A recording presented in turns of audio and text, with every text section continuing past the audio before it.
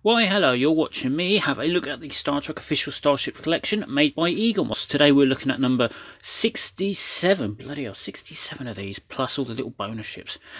Where's the time going? Anyway, the Klingon D7 class battle cruiser, or the one they shared with the Romulans. They had warp engines. Nice to see them sharing, isn't it? So, what we got on here? Got some details here. Disruptor cannons, phase emitters, and so they have disruptor cannons and phaser emitters. That's naughty of them. That's very cheeky. Oh, and they've got a magnetic pulse. Um, not much to say there. Fiercer reputation during the Cold War, the Federation. If you've not been watching Discovery, there was actually a war. I keep mentioning Discovery, don't I? It's naughty of me. Um, yeah. The Enterprise is normally a match for 1d7, but when there's seven several. They're outnumbered. What we've got here? Uh, disruptors, glowy bits, around K7. I've got K7 actually. I have the model of K7. We'll be seeing it sometime soon, in about 30 episodes' time.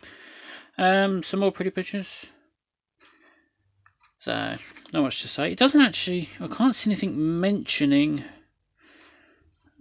where they shared the technology with the Romulans. They did. We all know they did. Uh, let's just flick through. Turn the page. Flip the page.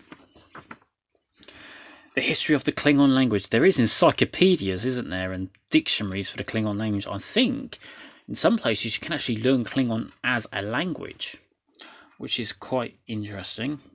All I know is Qapla'. Maybe a few insults now and again. Uh, oh, look. Bless them. Uh, sorry. You know, Worf, he was actually in one of the films, wasn't he? Um, it's not Final Frontier. Undiscovered Country, wasn't it? That was one with the cloaked bird of prey that she can fire. Christopher Lloyd. I knew his name. Uh, what else have we got? So, first scene, Errand of Mercy. I can't even pronounce half these names. Who makes up these silly names?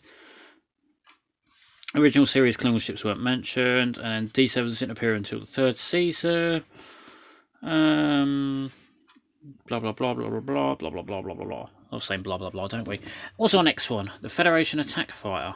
Hmm, that doesn't ring a bell. Federation Attack Fighter.